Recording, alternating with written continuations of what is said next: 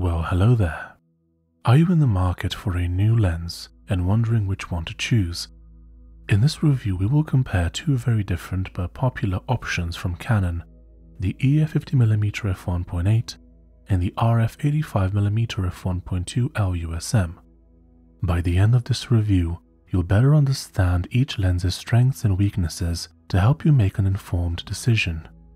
Let's dive in and see how these lenses stack up against each other. Let's begin our lens comparison by closely examining the respective apertures and focal lengths. First, let's examine the aperture of each lens. The RF 85mm f1.2 lens boasts a wider aperture than the EF 50mm f1.8 lens, which is f1.2. It's worth noting that a smaller f number indicates a wider aperture, allowing the lens to capture more light. The RF 85mm f1.2 lens's larger aperture provides a notable advantage over the f1.8 lens. However, we will delve deeper into other features and benefits of these lenses later in the review. If you're unfamiliar with the terms EF and RF, don't worry, we'll provide more information on what they mean later on as well. Next up, the remaining figures in the names of the lenses refer to their respective focal lengths, which indicate the lens's magnification. In this case, one has a focal length of 50mm and the other is 85mm. One of the notable characteristics of a 50mm focal length is that it closely resembles what we see with our own eyes. Since both lenses have a fixed focal length, they are known as prime lenses. Now, you might be wondering why anyone would choose a prime lens over a zoom lens, which offers greater versatility. The benefit of using a prime lens is that it can produce sharper images due to its fixed focal length. This can be particularly advantageous for portraits or low light photography. Later in this review, we'll explore other factors that differentiate these two lenses and help determine which one might be a better fit for you. The choice of focal length can significantly impact the outcome of a photograph as different focal lengths have varying levels of distortion. Compared to a lens with a wider focal length, such as a 35mm lens, the 50mm lens has a narrower field of view, which means it will capture less of the scene in the frame when a photo is taken from the same spot. It's important to remember that different focal lengths can affect the appearance of the subjects in the photo due to their unique distortion characteristics. For example, the choice of focal lengths can significantly impact how a person's face appears in a photograph, even if the photographer steps back to balance out the extra zoom of a longer focal length lens, the person's face may still appear slightly altered when captured with a 50mm lens compared to a 100mm lens, for example.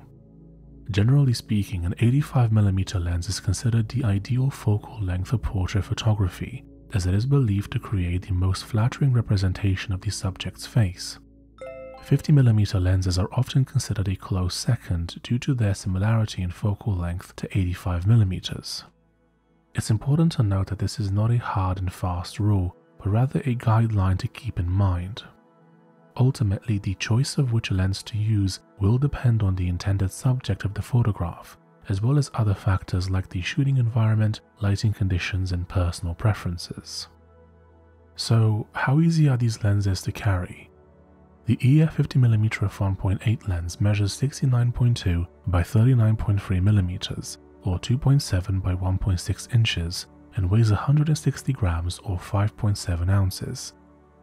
Meanwhile, the RF 35mm f1.2 lens measures 117.3 by 103.2mm or 4.62 by 4.06 inches and weighs 1.2 kilograms or 2.63 pounds.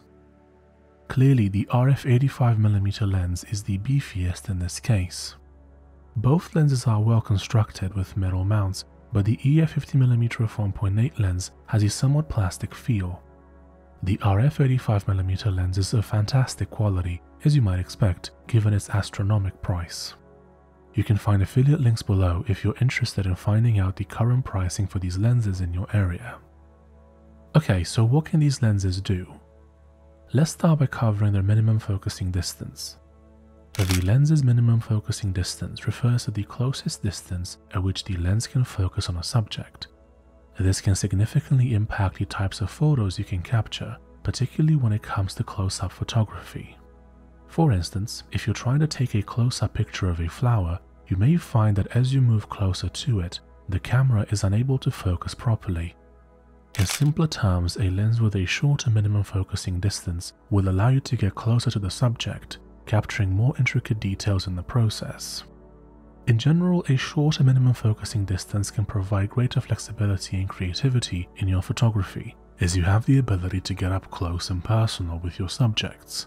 However, this also depends on the type of photography you are interested in. It's essential to consider these factors when choosing a lens that suits your needs. The EF 50mm f1.8's minimum focusing distance is 35 cm or 13.78 inches, while the RF 85mm f1.2 needs at least 85 cm or 2.79 feet. Okay, so how sharp are these lenses?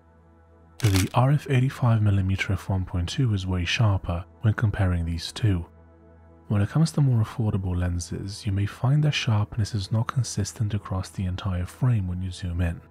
Typically, lenses tend to be sharper in the center than on the edges. While sharpness is certainly an important consideration when choosing a lens, it's not the only factor to keep in mind. Other factors, such as bokeh, focal length, and versatility, can significantly impact the lens's overall usefulness. Right, what about vignetting?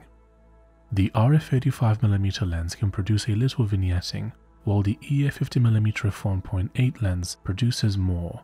However, this issue can easily be fixed in post-production. Also, I personally quite like some vignetting in my photos as I find that it tends to give them more depth. What about chromatic aberration? Again, the EF50mm lens exhibits more, while the RF85 f1.2 lens shows very little, but this is not a significant issue. The chromatic aberration is usually visible when the photos are taken in low light, particularly during sunset. It appears as color bleeding along straight edges in the image. Although it is not noticeable to most people, knowing that both lenses can exhibit chromatic aberration is essential. Practically any lens can have this issue, but more affordable lenses tend to display it more. Does either of these lenses have IS? No, neither of these lenses has image stabilization, Based on its price, you might think the RF85mm f1.2 lens has it, but that is not the case. Okay, what about autofocus? The EF50mm lens, which is more affordable, has an STM motor, while the RF85mm lens is equipped with a USM motor. The STM motor is commonly found in entry-level lenses and is recognized for its smooth, accurate and quiet operation when shooting video. In contrast, the USM motor is typically found in higher end lenses and is known for its speedy, accurate, and noiseless operation. While both motors are excellent options, the USM is generally considered better for fast action and sports photography. At the same time, the STM is a great choice for capturing video and other quiet scenes. By the way, if you find this video helpful, don't forget to leave a like. Also, if you'd like to look at any of the products mentioned in this video, I've included affiliate links below for your convenience. Right, so what cameras can I mount these two lenses on? The Canon RF 85mm f1.2 LUSM lens is specifically created for Canon's RF mount cameras, including the Canon R, R5 and R6.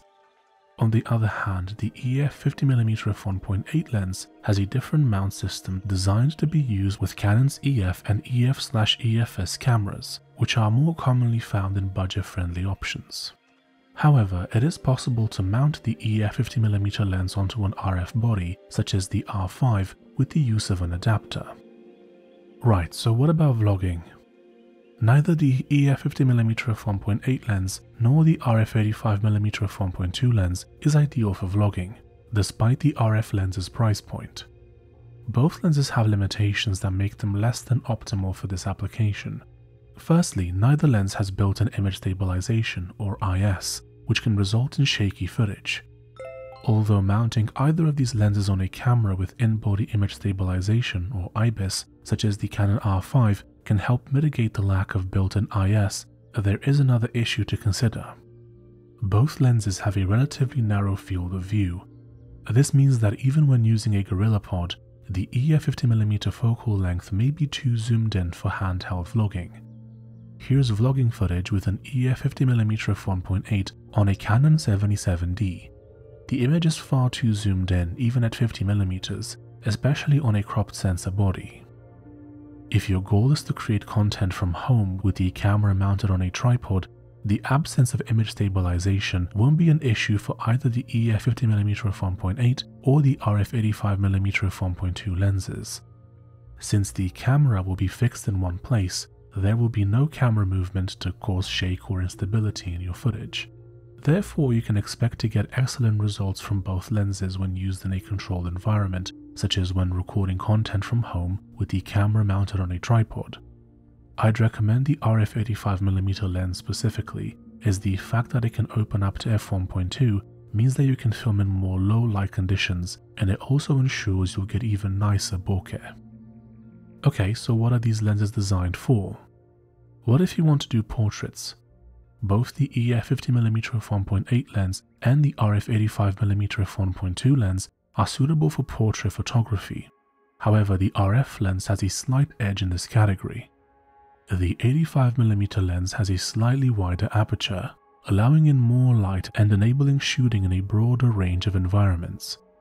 Additionally, it produces more luxurious bokeh, which can help to emphasize the subject's facial features and make them stand out from the background.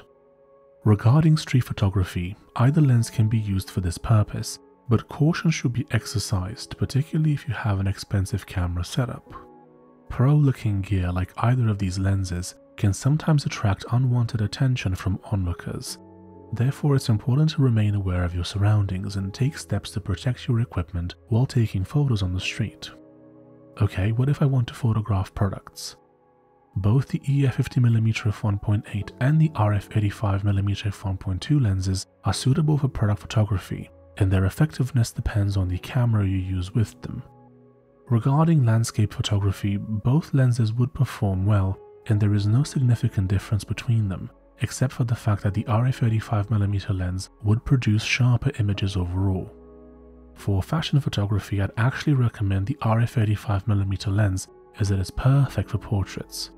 The 85mm focal length is considered ideal for portraits, and the fact that the lens opens up to f1.2 is also a great added bonus. What about documentary style shooting? The EF 50mm f1.8 and RF 85mm f1.2 lenses can both be used for documentary style work. However, the RF 85mm lens has a slight advantage in this category as its wider aperture lets in more light, making it slightly more versatile. Regarding capturing sports or wildlife, Neither the EF 50mm f1.8 nor the RF 85mm f1.2 lens is ideal. They cannot zoom in close enough to capture fast moving action or subjects that are far away. For those types of photography, it's best to use a telephoto lens with a long focal length to capture the details from a distance. For event or wedding photography, either lens can be utilized. Given that you'll mostly be doing portraits and detail shots, both lenses would work quite well. However, the 85mm lens would still give you that extra edge with portraits. Okay, so how easy are they to use? Both the EF 50mm f1.8 and the RF 85mm f1.2 lenses offer a pleasant shooting experience and are of decent quality. They both have smooth manual focus rings that allow you to make precise adjustments to the focus. Obviously the RF 85mm f1.2 is way nicer in basically every way, but it is also way, way more expensive. The RF35mm lens also has a customizable control ring, allowing you to assign various functions to it, such as changing ISO. Some people, including myself, choose to just keep it disabled, as I don't like the idea of accidentally changing settings during a shoot. However, this function might serve you well. Right, so how long can I expect them to last? Both lenses have metal mounts which is great for longevity, but while the RF85mm lens is protected from dust and splashes, the EF50mm lens has no weather sealing. Many photographers, myself included, prefer to use a UV filter as an extra layer of protection for the lens element. I use Sigma ceramic UV filters that stay on my lenses all the time, having been added right after I bought the lenses. Although Sigma ceramic UV filters can be expensive, the added protection is worth it, particularly for more expensive lenses. Attaching a filter to the lens also eliminates the need for lens caps, although they can still be used if desired. When purchasing filters for these lenses, it's crucial to consider their filter size, which differs from their focal lengths. The EF 50mm lens has a filter size of 49mm, while the RF 85mm lens has a filter size of 82mm. It's important to remember this as many people initially mistake filter size for focal length. I hope this has been helpful. If you're curious as to how much these lenses cost where you are, I have affiliate links down below for your convenience. If you'd like to check out more of my reviews, you can either have a look down below for relevant links or click the card in the top right corner. Do you have any questions? Feel free to comment below and I'll do my best to get back to you. If you'd like to purchase any of the items mentioned in this video or see how much they cost in your country, I have links below where you can view them. Thank you for listening. Don't forget to leave a like, subscribe, and hit that bell, and I'll see you in the next one. Bye bye.